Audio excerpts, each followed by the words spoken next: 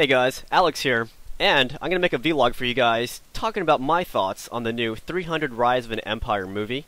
Um, I'm not gonna do a proper movie review, but I'm gonna tell you, you know, what my thoughts were on this movie, whether I liked it or not, and I'm gonna talk about some of the historical discrepancies in the movie, because this movie is based on historical events. Um, that said, this movie is based on a graphic novel by Frank Miller, so it's based on a comic book, which in turn is based on historical events. So, uh, let me start off by saying, yeah, I had the pleasure of watching this movie last night on Friday, March 7, 2014. I watched it in 3D, and it actually opened on Thursday, but I was I was busy on Thursday. What was I doing? Oh yeah, I was watching the new Viking episode on History Channel, which by the way is a great show. Uh, sidetracked. So yeah, 300 Rise of an Empire. It's it's the sequel to the first movie called 300, and that starred Gerard Butler focusing on the Battle of Thermopylae. 300 Rise of an Empire, it covers a lot more historical events compared to the first movie. Um, yeah, they said, 300 covered Thermopylae. 300 Rise of an Empire covers. I mean, it mentions the first invasion of Greece by Persia, it mentions Thermopylae, and it mentions um, a battle that took place at the same time as Thermopylae, which was the Battle of uh, Artemisia. And then it, it goes a little bit forward toward the bat- to the Battle of Salamis, so, yeah, this this covers a lot more ground, and um, I'm gonna launch into a, a little mini movie review. Not really a proper review, but a little review. So yeah, as I said, this this covers a lot more ground than Thermopylae. There's a lot more to cover. So I think one of the problems of this movie is that it tries to cover too much ground. Um, yeah, the first movie it only covered one event, and I think in that regard it had the advantage that it didn't have to jump all over the place, you know, talking about this and talking about that, and at the same time sacrificing battle details. Because in 300 Rise of an Empire, some of the battle scenes are a little bit, uh, wait, we say cursory or very, very quick. Um, not very much explanation behind the battles. Um, I'll talk about the actual reasons behind the battles later on when I talk about the historical events. Um, but this movie, every time I start a video, there's always someone texting me. That's fine. It's probably a girl because I was texting somebody earlier. Yeah, it is. Um, yeah, the movie, the the main actors. Let's see. I, I have to look up their names again. Well, first off, the director was Noam Murro and I'm not really familiar with his works as a director. I can look it up really quick on IMDb though. He directed Smart People, that was 2008, and he directed this little TV short called HBO Imagine, and that seems to be his only director credits. But when you watch this movie, you're, you're not going to notice, you know, too many weaknesses as a director because everything is pretty awesome about it for the most part. Yeah, I like this movie. So yeah, the main actors are Sullivan Stapleton, and he was in um, in Gangster Squad, which I haven't seen yet. But he plays the Athenian hero Themistocles, and he is the main the main character in this movie for the good guys. For the bad guys, you still have Xerxes, and uh, he still act. He still um. The actor is still. Oh my gosh, I can't remember his name. His name is Rodrigo Santoro but he's not the main bad guy. The main bad guy in this movie is actually a girl, and it's Eva Green. She's that really uh, gorgeous actress from Kingdom of Heaven. In this movie, she plays Artemisia, and uh, she was, I guess you can say she's ethnically Greek. She had some Greek blood in her, um, but she is an ally of Xerxes, and in this movie, she is commanding the uh, the Persian fleet against against the, the Greeks under uh, under Themistocles. So uh, that's what the the movie is basically about. It's about the uh, the Greek fleet led by Themistocles taking on this Persian fleet led by by Artemisia. So the acting is awesome. Who is that? Yeah. Sorry, I'm getting getting a little confused here. Um, yeah, if you like Gerard Butler as Leonidas in the first movie because he was charismatic, um, tough. You know, he he was your your tough guy. He was brave. Oh my gosh. He was very charismatic. If you like that aspect of uh, Gerard Butler as Leonidas, then you're going to like Sullivan Stapleton as Themistocles because he's equally charismatic. He's very brave. Um, he's he's he's pretty witty too. Like the dialogue they give him, it's it's it's intelligent, and it makes him look to be you know like an Athenian badass version of of the Spartan Leonidas. And uh, as a bad guy, Eva Green is awesome. That bad guy being a bad girl, because uh, they explain her back history, which by the way is completely embellished, historically speaking. But they they gave her motive to be attacking, uh, you know, to be leading this Persian fleet against the Greeks, and they gave her motive for the way she acts, and uh, they don't really. I mean, they kind of hammer up, but not not too much. You, you know, not to the point of being unwatchable. They make it just right. Eva Green's a great actress. Like she's she's sexy, she's gorgeous, and uh, I can see myself being led. Okay, hold on. I can see myself being led by by this person. Okay.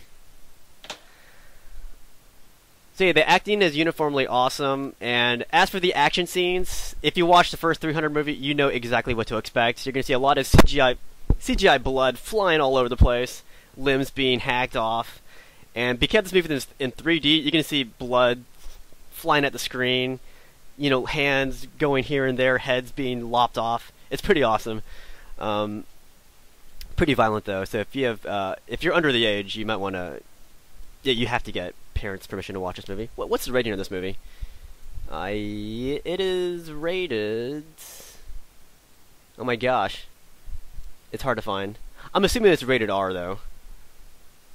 But that's besides. Yeah, it's rated R for strong, sustained sequences of stylized bloody violence throughout, a sex scene, nudity, and some language. There is some some strong language. There is a sex scene between uh, Themistocles and and Artemisia, which was completely embellished as well, and very stylized blood sequences. Yeah, I gotta say, yeah, the battle sequences are not shown, you know, accurately, not the way they should have been shown. But if you like 300, you're gonna like this kind of action because it's very over the top, um, very bloody, and the swordplay is awesome.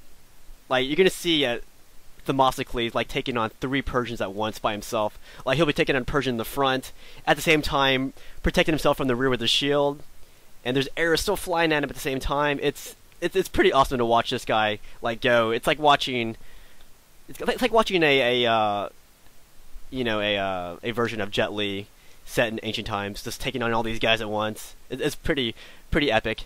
Um, and also like the, these these warships they move way too fast. They maneuver way too quickly, and yeah, everything's just completely unreal about it. But it gives it this really epic feel to it, very mythic, a very mythic feel to it. Um, so yeah, in in short, as a movie, I loved this movie. I'm one of those people who can see all the inaccuracies of a movie, all of the um, like plot holes and whatnot. But as an art piece, this movie is it's very stylized and it's very artistically done. And it's very beautiful to watch, and the acting is awesome, especially by the by the two leads, uh, Eva Green and Sullivan Stapleton. So let's go ahead and launch into the historical inaccuracies of this movie. So uh, first off, the battle. I mean, the movie starts off with a prologue talking about the first invasion of of Greece, um, they highlight this invasion by talking about the Battle of Marathon, in which the Athenians launched launched this uh, attack at the Persians at the beach of Marathon. Um, I think, in essence, it it covered the spirit of that battle. Like it, it showed the Greeks charging at these Persians, but uh, what they didn't show was that the Persians actually held their ground and they actually almost enveloped the Greeks as they tried to, you know, launch this surprise charge on them. Uh, yeah, but but they didn't show the Persians actually holding their ground for a bit. They just had them getting hacked down, panicking, and running away. Um, but yeah, the first really big um, historical inaccuracy. I, I, wrote some some night, some notes down. Themistocles, he's the hero of this movie. He's the main actor in this movie. But they they called this guy the hero of Marathon. And I was doing some research. And by the way, I'm using these books as my historical sources. I have Sparta's Kings by John Carr. Um, Warfare in the Classical World by John Warry, the illustrated edition, and then uh, Battles of the Ancient World, this book. So, out of the way. Themistocles, was he the hero of marathons? I don't think so. It's said that he was one. He might have been one of the ten generals elected to lead the Athenian army at marathons. Yeah, the way this this was fought. I mean, the way that they used to fight, they would have like ten generals. On each given day, one general would be leading the army. But at that battle, there were ten generals. He might have been one of them. But every one of those commanders, they deferred military decisions to this guy called Miltiades, and so, if anything, it was Miltiades who was the hero of Marathon. He's the one who prescribed that the Greeks attack the Persians instead of waiting for them to come to them. So, if, if there was a hero of of Marathon, it would have been Miltiades, not Themistocles. Um, there's really not much said about Themistocles at this battle, except that he might have been present, and he, he might have been one of the ten generals. Certainly not the hero of Marathon. And they also show the first uh, Persian king, uh, Darius, that's Xerxes' father. They show him being killed at Marathon by Themistocles, which is completely inaccurate. Uh, Darius was not even at this battle. It was actually uh, the Persian army was led by, uh, or the Persian expeditionary force was led by Datis, and Darius was not killed at this battle. In fact, he he wasn't even in Greece. I don't think so. I mean, the point is, he wasn't killed at this battle by Themistocles. That's just completely embellished. Not sure why they why they showed that. Um, but they said it was based on a comic book, so who knows? And what else? I think I had a, I think I had another uh, historical thing to show for marathon. Nope. All right, so the next thing was um, Themistocles. That's the hero of this, the, the Athenian hero of this movie. He's trying to lobby support from the Spartans to uh, to join a united Greece against Persia. Well, as you guys know, Leonidas already led the the Spartans at Thermopylae. Like the Spartans already agreed to fight, you know, w- with the uh, the Athenians.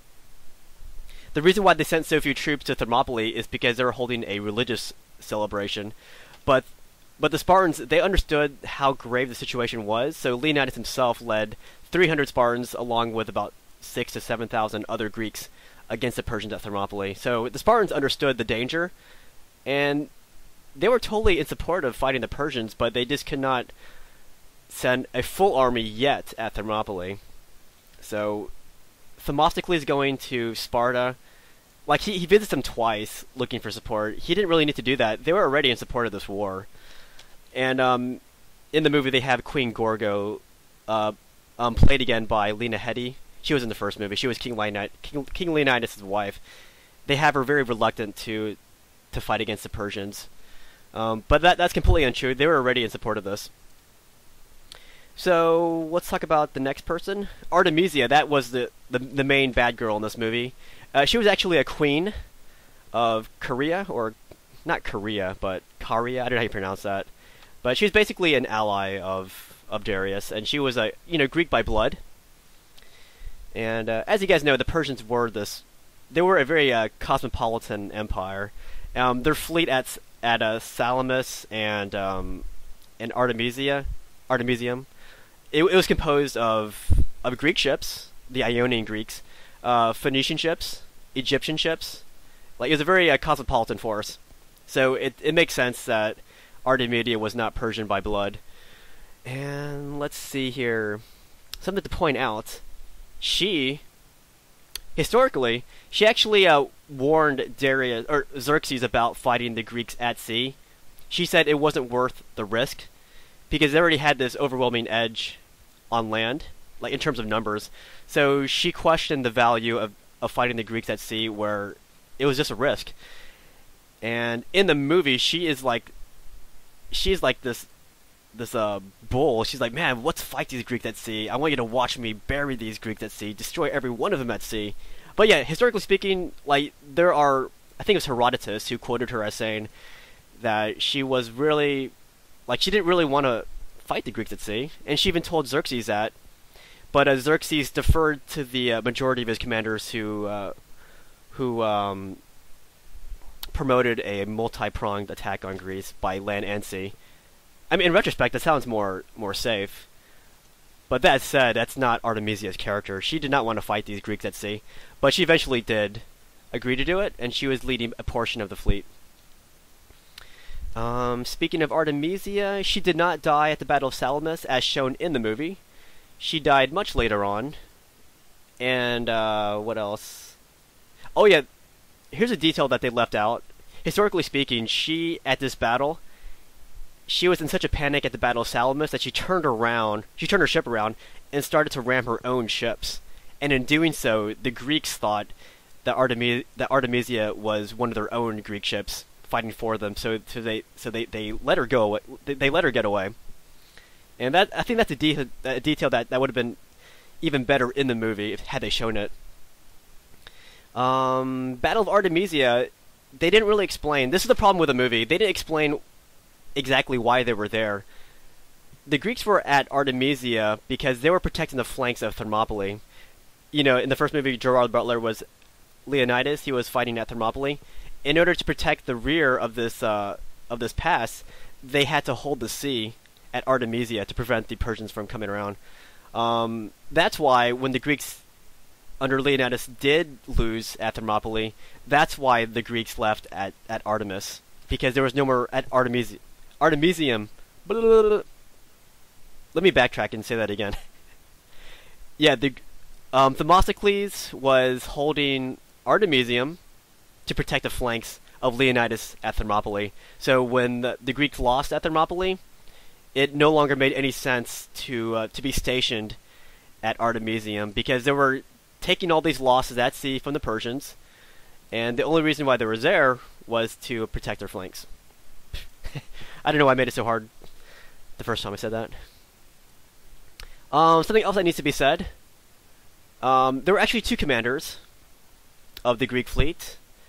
Um, and that was one was Themistocles, but the, the actual commander was a Spartan by the name of Eurybiades. And the reason why they put Eurybiades in charge was because a lot of the Peloponnesian Greeks they didn't really trust the Athenians because the Athenian power was actually growing at this time. So so they put a Spartan in command. But what ended up happening was uh, Eurybiades he usually deferred judgment to uh, Themistocles, who was a better uh, naval tactician. That said, they, they still were at odds with each other because they did not agree on, on naval strategy. But ultimately, Themistocles was the brains behind the the naval aspect. So what else? Battle of Salamis. In the movie, they showed the Battle of Salamis being fought in this open sea. You know, the the Greeks were forming this big uh, circle to give themselves all-around protection against the Persians who were surrounding them. Um, in the actual battle, the Greeks fought in a narrow strait, Battle of Salamis, and it's kind of like how the Spartans fought at Thermopylae, it was a narrow pass. Well, at the Battle of Salamis, the Greeks also fought at a very narrow strait, so the Persians couldn't, you know, readily outflank them. You know, by by fighting at the strait, it negated the large numbers of the Persians.